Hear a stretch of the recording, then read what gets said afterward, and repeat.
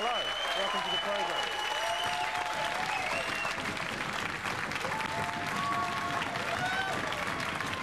London University.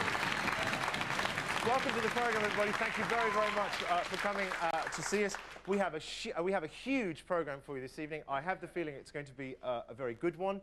Uh, we're very excited about it tonight. Uh, on tonight's show, it is International Take Your Daughters to Work Day this very evening, and yeah, absolutely. Uh, it's the fruit of last year's Think Up, Stupid and Pointless Festivals Day. Uh, or as Chris Evans is calling it, bring your girlfriend uh, to work day. Uh, that's the one I should have led with. Anyway, um, uh, thank you very much for coming. It's a huge show, actually. Uh, um, so we're doing that. We're celebrating Take Our Daughters into Work Day. We also are celebrating uh, the work of a town called Cockermouth in Cumbria. Uh, Cockermouth, well done, sir, for lowering the standard. Uh, uh, Cockermouth was the winner of a two, year 2000 Council of Europe prize last year, and we went up there to celebrate it and find out why uh, they won the prize. We also have very fine and funny comedian Paul Foot, and we have also a major coup on tonight's programme. We've beaten every other single news organisation for this story. We have him here tonight on the show. Disgraced former president of the Philippines, Joseph Estrada, will be here giving us his first interview on British television. And we're very. And we've beaten Newsnight to this, we've beaten Hard Talk. So it's a great show. I might even get digital myself after this show. It's just that good an opportunity. So settle back, enjoy it, and we'll begin it now. Let's go.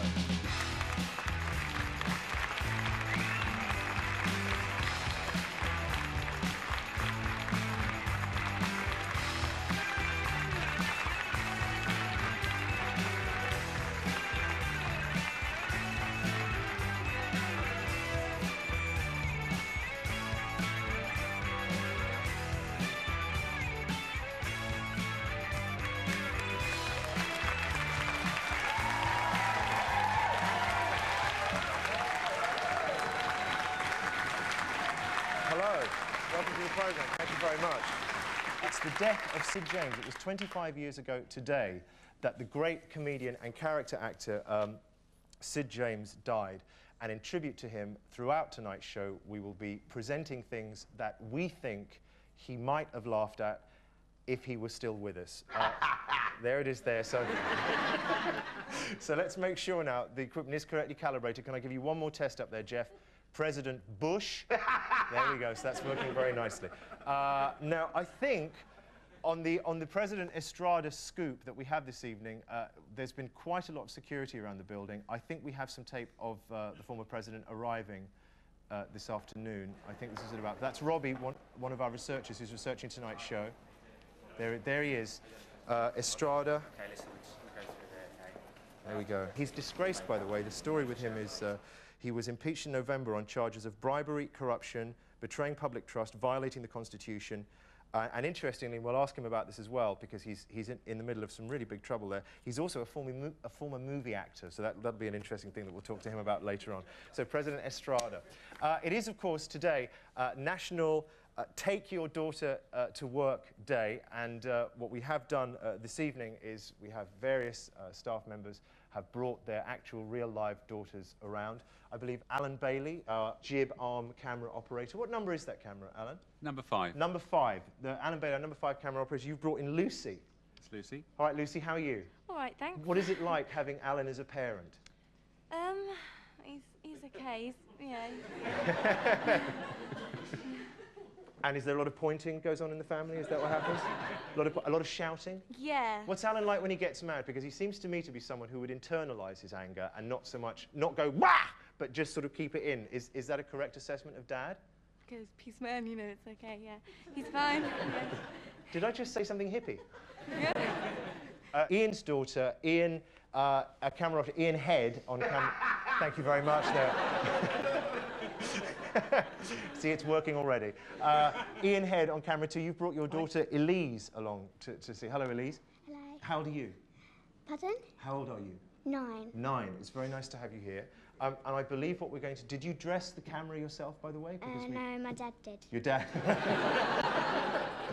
and, and I believe that on the program tonight, you're go- actually going to be operating camera two. Is that correct? So lovely. So.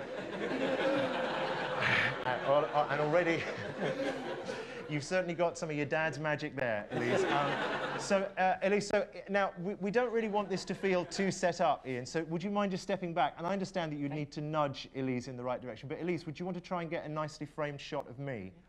Which I guess that would be pretty good as far as shots of me go. But let's. All right, good, not bad. Come on in. Come on in. Whoa, fantastic. Right. No, no, no close-ups, no close-ups, no close-ups, no close-ups. So excellent, Elise. Thank you very much, uh, and uh, and we'll see how that goes. Uh, also, I believe uh, by the end of the show, it's going to be like Village of the Damned. You can rest assured. Uh, hang on, I just have to put my earpiece in because we've got some sound trouble. Up in the gallery, uh, I believe that Sue, Susan Pelhate, our vision mixer, she has her daughter Tiffany there. Hello, Tiffany. Hello. So, Tiffany, uh, what are you making of uh, of th- this place where, where your mum works? I think it's really good. Yeah? Okay. I tell you what, just, just, just Tiffany, just, just push some buttons, see what happens. Just push some buttons on the console.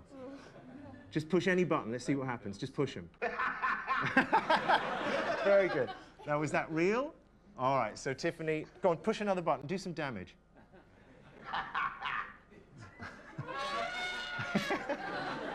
All right. Ah, right.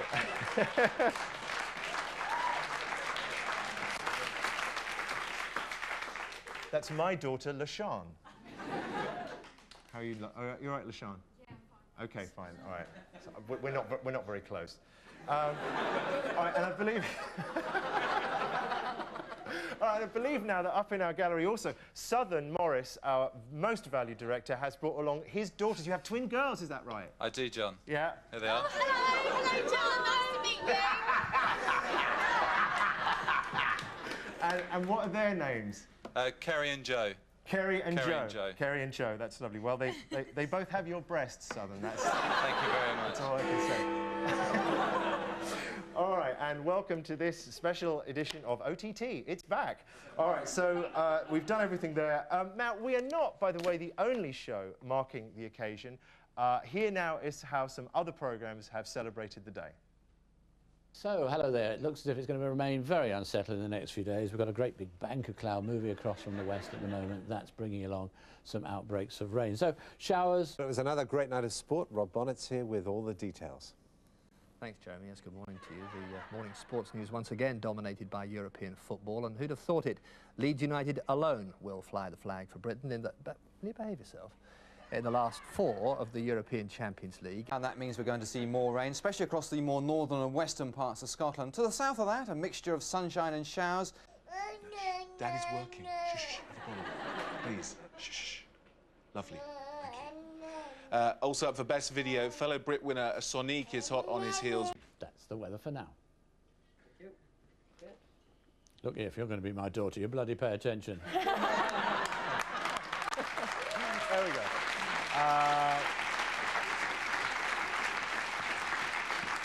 now, uh, here to give us his honest opinion of what our fourth week on air has been right, has been like even, is our most valued show writer, Ed Dyson. Here he is.